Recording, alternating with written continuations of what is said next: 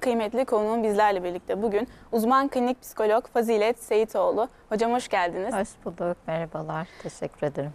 Ve Diyanet İşleri Başkanlığı Din Hizmetleri Uzmanı Neslihan Hocaoğlu. Sizler de hoş geldiniz. Hoş bulduk. Teşekkür ederim. Nasılsınız?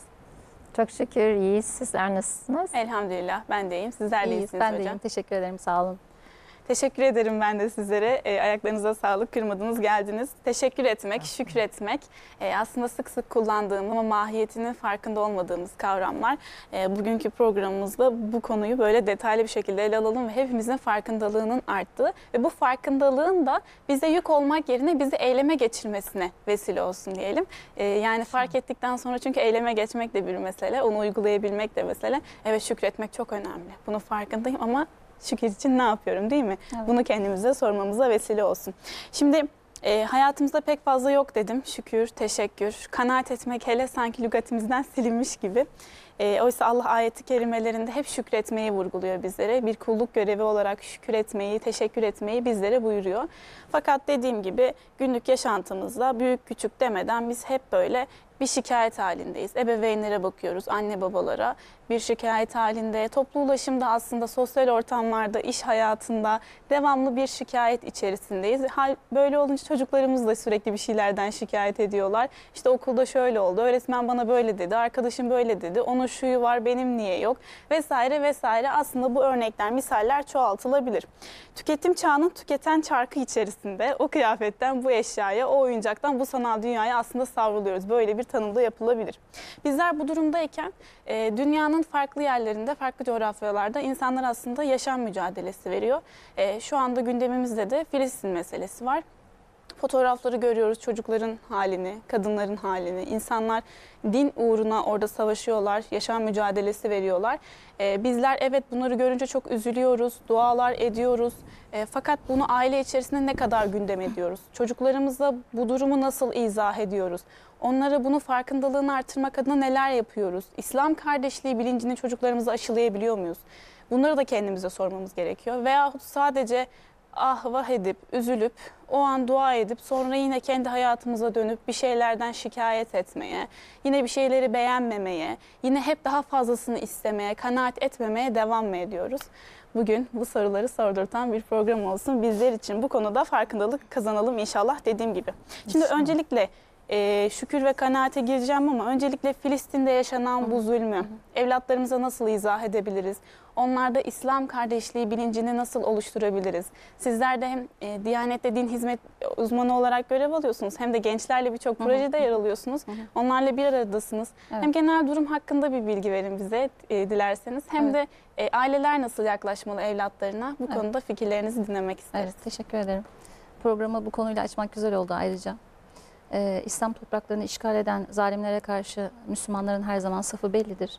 Ee, allah Teala Müslümanın asla zalimden yana olmayacağını söyler.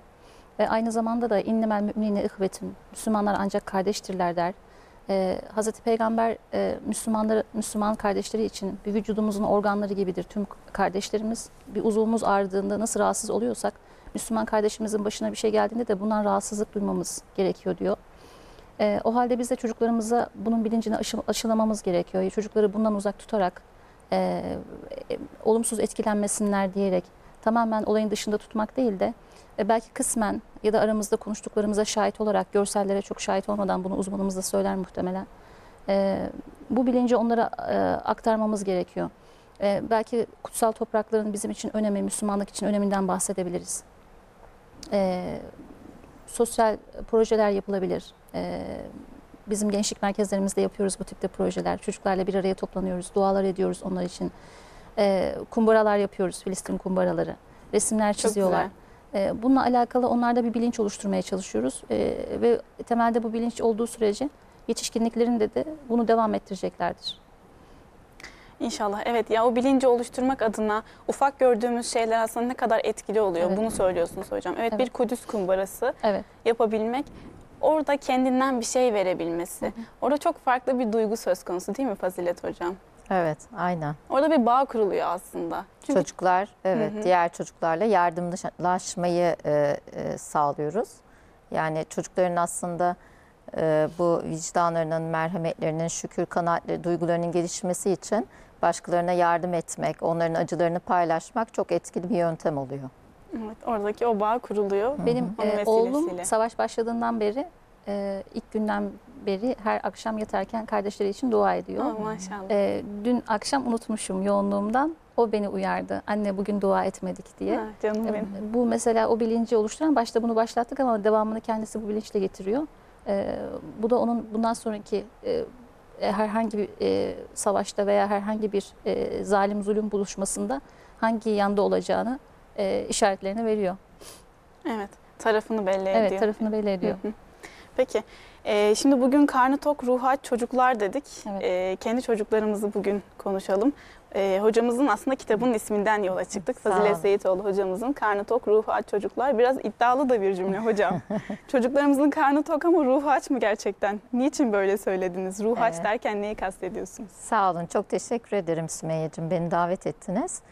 Ee, evet, bu kitap e, bir yılların birikimi oldu. Aslında e, seansta, terapi odasında gördüğüm vakalardan e, esinlenerek bu ismi de koydum. E, malum 21. yüzyıl e, bir narsistik çağ. Evet. e, narsizmin, e, bencilliğin e, üst hale geldiği bir dönemde yaşıyoruz. İnsanların kendilerini düşündüğü, e, bencil olduğu bir dönem. E, çocuklarımızı yetiştirirken de terapi odasında hep şunu gördüm. Aslında çocukların maddi durumları çok iyiydi. Karınları aç değildi ama sevgiye e, açtılar. Ee, belki e, tatmin duygusuna, şüküre, kanaate açlıkları vardı. Ee, ben de e, öyle koydum. Karnı tok, ruhu aç çocuklar koydum kitabın ismini.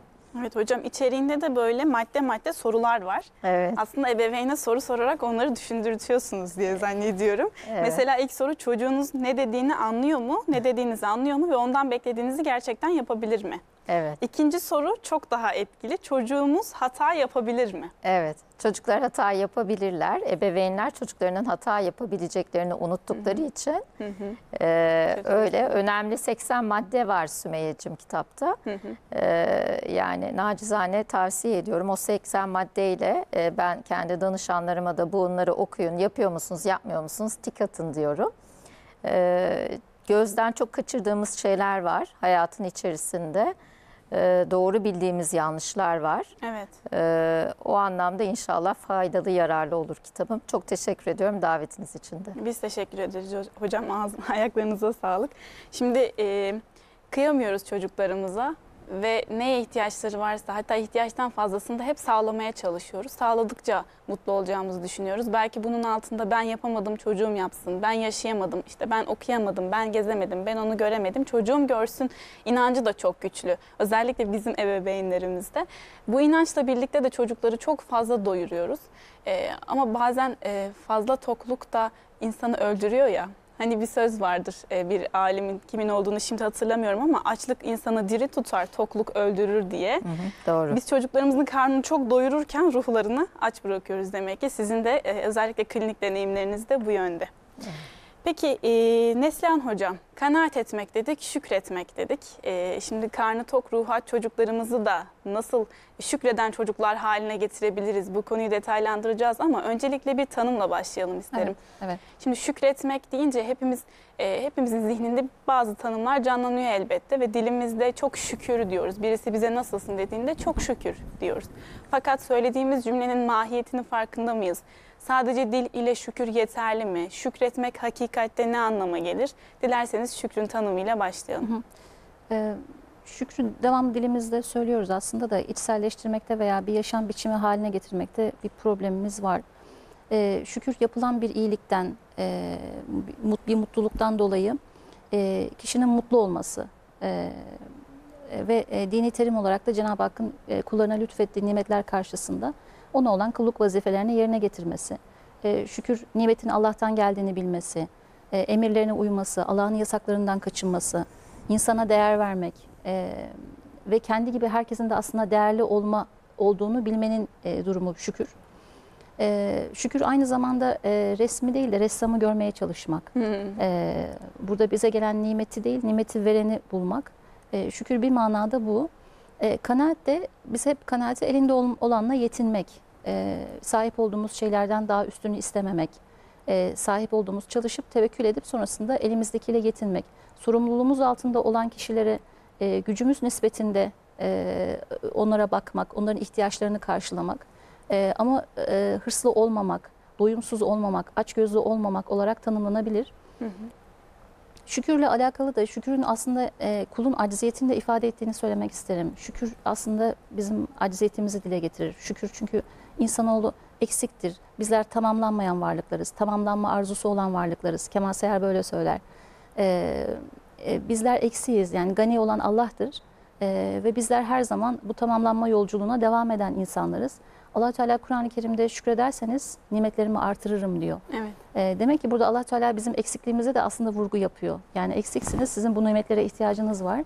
E, kul bu yolculukta e, o eksikliğinin farkına vararak şükrünü eda etmeli. Ama bu hayatında bunu bir bilinç haline getirmeli ve bu tamamlanma yolculuğunda kendine bir şey katan herkese, her şeye şükretmeyi bilmeli. Eğer böyle bakarsa hayata e, bu farkındalıkla yaratıcıya ulaşabilir kişi.